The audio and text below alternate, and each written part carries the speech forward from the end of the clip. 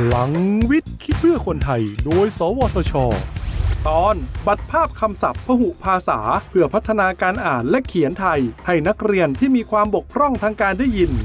นักเรียนที่บกพร่องทางการได้ยิน ต้องสื่อสารผ่านการใช้ภาษามือ ซึ่งมีไวยากรณ์ที่แตกต่างจากภาษาไทยครับทำให้นักเรียนที่บกพร่องทางการได้ยินจำนวนมาก มีปัญหาด้านการอ่าน และเขียนภาษาไทย ซึ่งตอนนี้ก็มีการนำบัตรภาพคำศัพท์พหุภาษามาช่วยแก้ปัญหานี้แล้วครับ มูลนิธิเทคโนโลยีสารสนเทศ ตามพระราชดำริ สมเด็จพระเทพรัตนราชสุดา สยามบรมราชกุมารี ร่วมกับ สวทชดำเนินโครงการ พัฒนาการอ่านและเขียนภาษาไทยสำหรับนักเรียนที่บกพร่องทางการได้ยิน โดยได้จัดทำสื่อบัตรภาพคำศัพท์พหุภาษา ในการสอนอ่านและเขียนภาษาไทย ที่มีรูปภาพประกอบจำนวน 2,000 คำ และมี QR code เชื่อมต่อไปยังวิดีโอการสะกดนิ้วมือ และท่าภาษามือของคำศัพท์บนบัตรภาพ นักเรียนที่บกพร่องทางการได้ยิน สามารถเรียนรู้การอ่านและเขียนคำศัพท์ผ่านการใช้แท็บเล็ตอ่าน QR code บนบัตรภาพคำศัพท์ เพื่อแสดงผลเป็นวิดีโอภาษามือให้เข้าใจได้ง่าย และเรียนด้วยตนเองได้บ่อยครั้งตามที่ต้องการ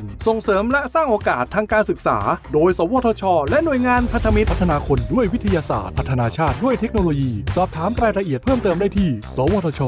02 564 8000